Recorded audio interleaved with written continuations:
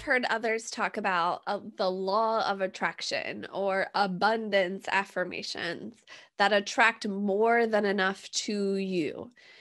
I have a slightly different approach to money affirmations, or maybe a really different approach to money affirmations. Sometimes I think it's less about the money and more about enjoying life more. Sometimes it's more about personal growth than making our wallet fatter. Sometimes it's about healing or values or time freedom. If you're looking for money affirmations that go beyond, I am a magnet for money, I am a magnet for money, then you're in the right place. Here are my top 10 money affirmations that go beyond money to total life transformation.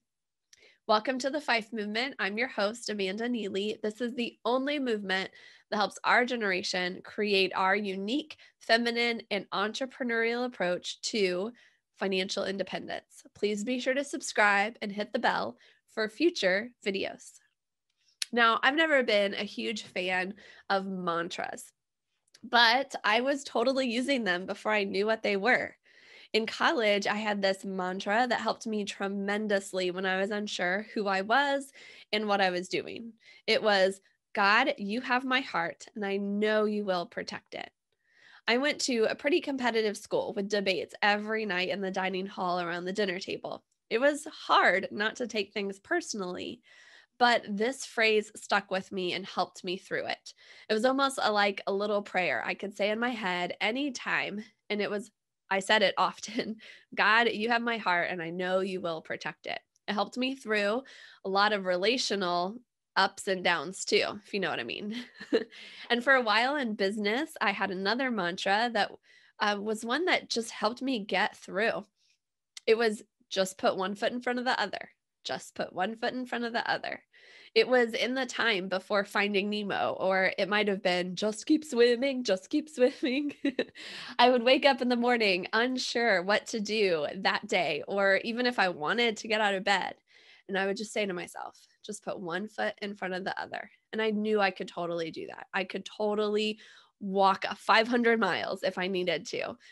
Or, and so I would get out of bed and keep going with my day, no matter how hopeless the future seemed, because I knew I could just keep putting one foot in front of the other, one foot in front of the other. The reason I share these stories is because what happens in our heads right here dramatically impacts how we feel and what we do. If you want to have a better relationship with money, perhaps it could start with developing some new thoughts about money. And if you want to live a happier, healthier life, maybe changing your mind about something could help. Maybe there are affirmations or mantras that can do both help you with your money and help you live a happier, healthier life at the same time. Now, I totally want to be clear these affirmations are not all name it and claim it per se. There might be something to putting a positive mindset out into the universe that leads to more wealth and health and happiness coming your way. Totally could happen. But from my experience, when I choose positive money affirmations and mantras, they change my mind and that changes all of me my actions my feelings what you know all the things and that's been way more important than any like cosmic things coming my way because of what i've changed so i just want to put that out there lately i've been toying around with devising some new and improved money models mantras or affirmations that others might find helpful as well so I want to share with you my core 10. And as I share them with you, see what sparkles or sticks out. I'm just going to read them. Um, in future episodes, I'm going to expound on them. But for now, I just want you to take them in, see, see what feels like something you want to dive into. So, one, I spend less to enjoy life more. Two, I grow my income so I can be more generous and kind. Three, I can save more money than I previously thought possible. Four, I don't need or want to impress people I don't like. Five, What really matters is having time for what's most important. Six, I want my money to help me grow as a human being. Seven, I can talk openly and honestly about money. Eight, my past money mistakes are forgiven and my focus is on this moment. Nine, I can and will have total time freedom. And 10, my life is in service to my values rather than my time in service to my money. Now, these 10 phrases are going to be in the show notes. If you want to go back and read them again, um, see what sticks out to you, see what sparkles. For now, it's time for you to decide how you want to change your mind when it comes to money so that you can have a happier, healthier relationship with money. Maybe one of my 10 sparkled or stuck out to you. If so, try it on for size. Maybe you have something else that popped into your head or pops into your head as you go about your day today.